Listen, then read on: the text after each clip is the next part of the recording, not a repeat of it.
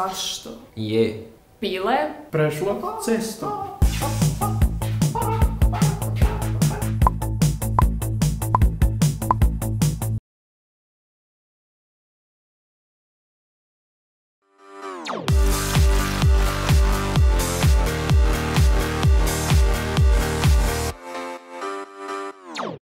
Dobrodošli Džumbusovci, ja sam Davor i evo nas u osmoj epizodi Video Stara. To je treća epizoda od kraja.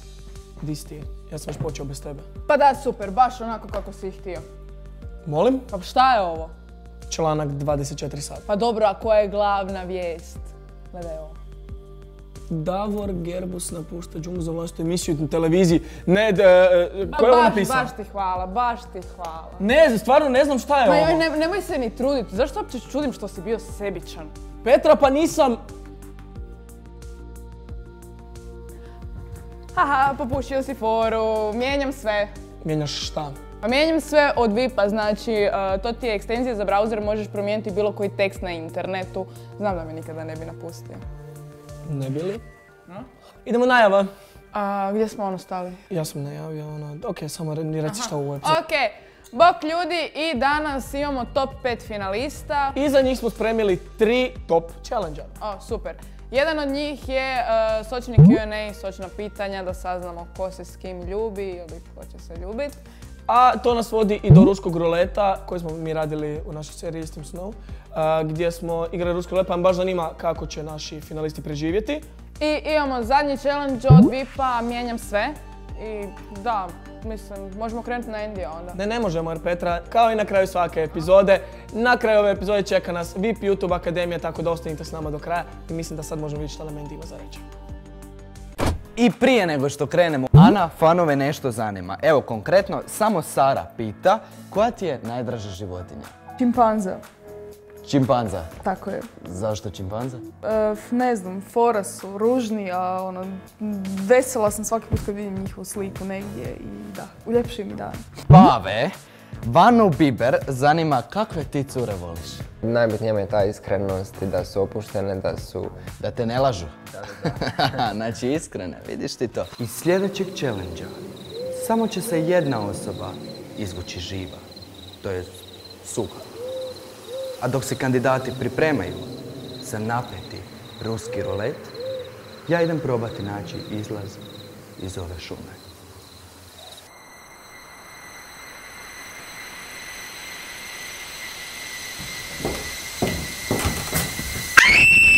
Ajme, meni, oh, oj, oh, wow, ja, ja, ja se, ja se ispričavam.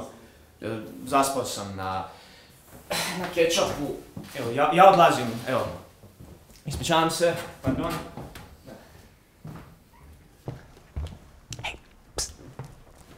Neki znaju, neki ne znaju što je to ruski rulet. Znači ovako, ruski rulet. Naši će finalisti sad na brzinu vrtiti u krug jedan mali balon. E, zvuči bez veze. Ali, taj je balon priheftan za pištolj. Ako se pritisne okidač, balon će ili puknut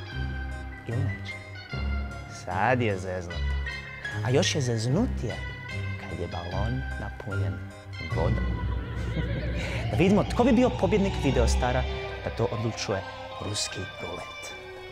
Bog, ja sam Bruno i nisam liječeni alkoholičar. Bog, ja sam Leo, ja sam novi tu. Bog ljudi, ja sam Ana, ja neću pit više. Niti manje. Bog, ja sam Filip i ne znam zašto sam ovdje. Bog, ja sam Nika i ovo je već peta grupa.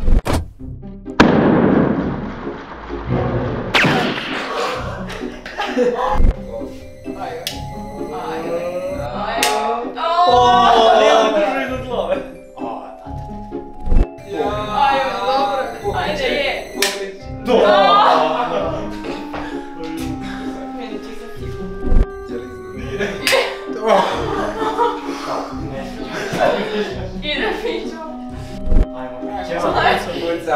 Puca, znači 100% puca. Moram.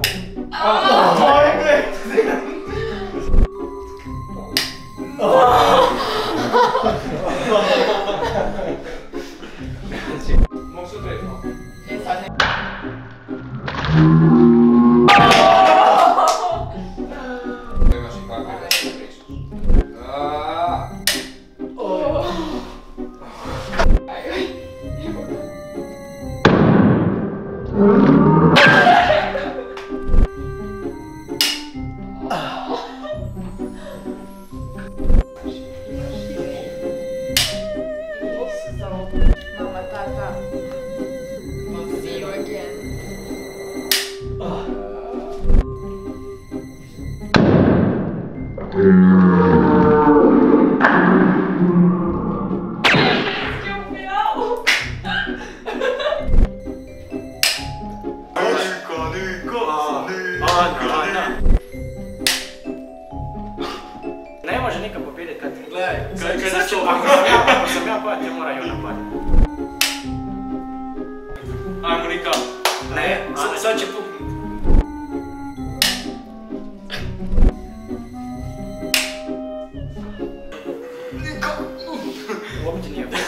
Smije?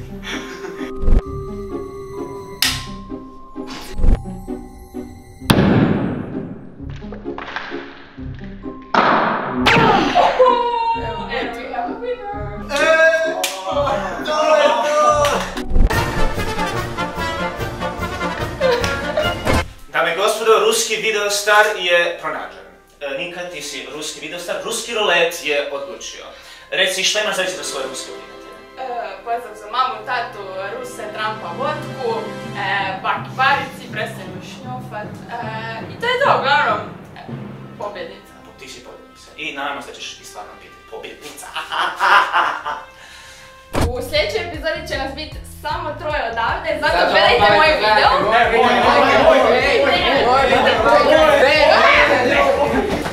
Ej, ako Gledajte naš video. spot na dobru pismu, ja moram ući.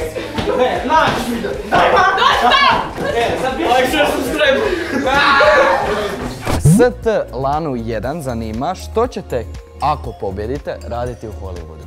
Složili smo se oba dva da bi htjeli ići znači, na Hollywood Walk of Fame, ali kako bi to napravili ono kako bi se reklo spice it up, e, imamo plan da ako pobjedimo da strance zapravo nagovorimo da govore naše neke smiješne riječi bez da oni imaju pojma šta govore i snimimo to i eto ako ne prođemo onda barem objavimo i to je to. To će biti jedan jako zanimljiv video. A mi idemo dalje. A sada idemo na Nikad nisam challenge, gdje će kandidati otkriti neke sočne detalje, a neki od njih su pomalo i gnjusne. Ljudi, ja nisam nikad nikoga ulovio kako se seksa. Neću imenovat svoju dragu prijateljicu, ali e, ono nije sanjala, ono se stvarno desilo na njezinom rođendanu i to sam bila ja, ušla sam u sobu i sorry te ljudi. Ja nisam nikada polizao krv. Pa ono. Kad se porežeš na prst, poližeš. Nisam nikada pojio krastu. Nikada nisam ništa ukrao. Ja sam ukrao jednom prijatelju tri pikule i to je jedina stvar što sam ikada ukrao u svom životu. Nisam nikad poljubio isti spol.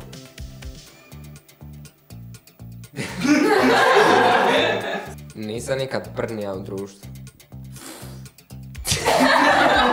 Pa desi se. Kaj sam trebao. E, ja nikada nisam nekog od članova obitelji vidjela golog.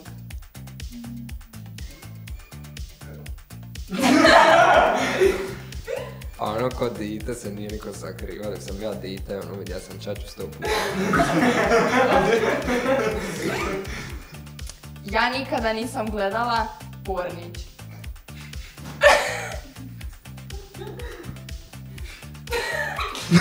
Svi imamo tu fazu u životu. Ja nikada nisam bila zaljubljena u profesoricu ili profesora.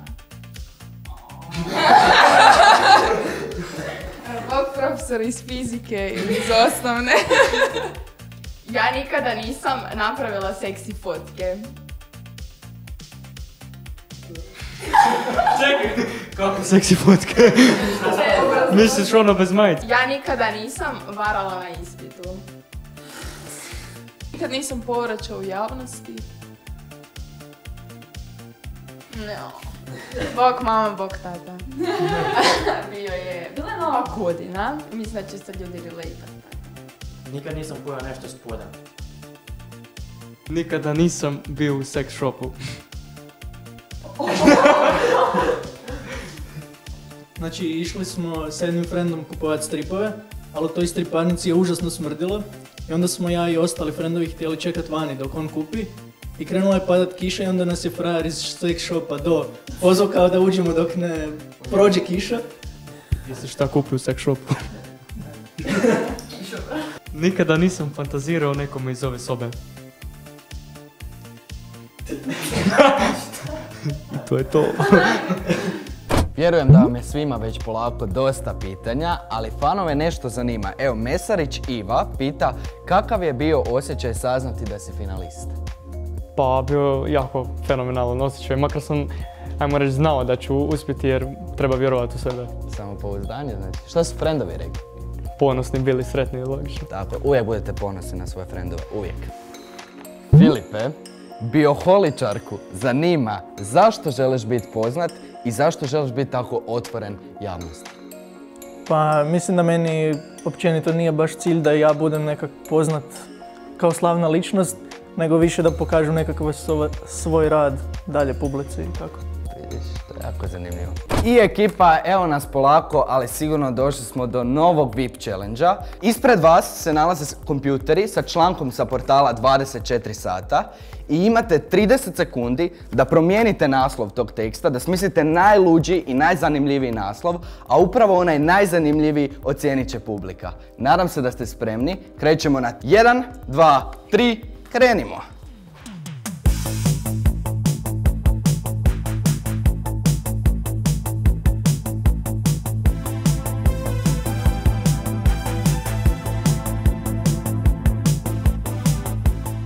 I gotovo, vrijeme je završilo. Što ste napisali, napisali ste. Sada ja vidim što ste vi to napisali. Prvi mi je ovdje Bruno. Da vidimo. Kim, Selena je izgubila konja, nikad je nisam vidjela tužniju. To je jedan zanimljiv naziv, idemo dalje. Fićo kaže, Kim, Selena je kupila dijete, nikad je nisam vidjela gladniju. Odlična poveznica, odlična.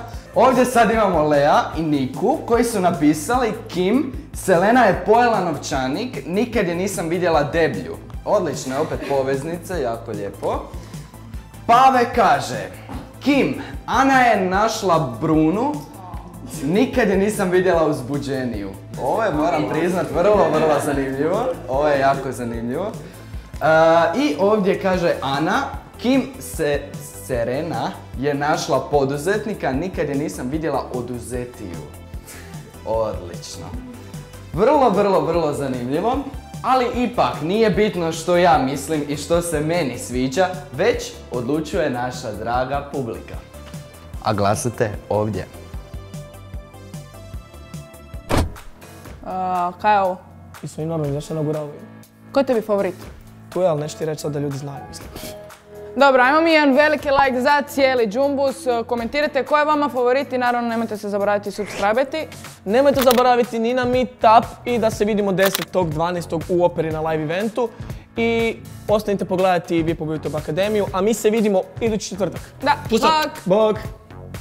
Ako se pitate da li bi htjeli igrati jednu ili više igrica na svom kanalu, svakako preporučam više. Ja sam krenuo sa jednom igricom, možda sam se tu malo zeznuo, ali e, gradio sam kasnije svoj e, kanal na više igrica. Zašto više? Pa jednostavno zato što imate e, više mogućnosti. Cijeli video i druge savjete o tome kako postati youtuber možeš pogledati na Vipovom kanalu. Subscribe se na Vipo kanal i uključi se u YouTube Akademiju.